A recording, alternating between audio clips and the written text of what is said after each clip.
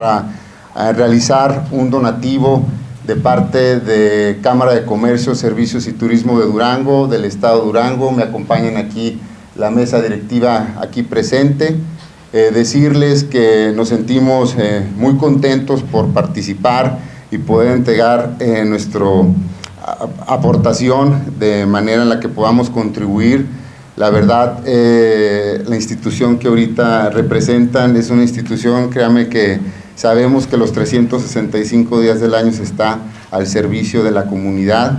En verdad, eh, extraordinario trabajo que están haciendo y solamente eh, queremos felicitarlos. Entonces, que cuenten con Canaco, somos una cámara aliada, señora, y que nosotros con mucho gusto cada año estamos listos para aportar y hacerlo extensivo a todas las delegaciones del Estado. Aquí en Canaco o vernos con toda la gente de Canaco.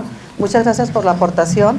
Es una cantidad importante y aparte yo creo que si así actuáramos todos, de granito en granito podemos alcanzar las metas. Eh, la meta que tenemos es muy alta. Eh, también tenemos el proyecto de hacer el edificio de, de la Cruz Roja en los terrenos aledaños o pegaditos que tenemos ahí nosotros en el sistema DIF estatal. Ahí hay 8.000 metros, estamos en el proyecto, esto es parte de la colecta 2018 pero vamos a seguir dándoles lata porque Durango necesita y merece una Cruz Roja más grande. Ya nos quedó chiquita, ya nos quedó eh, pequeña para la cantidad de habitantes que tiene Durango.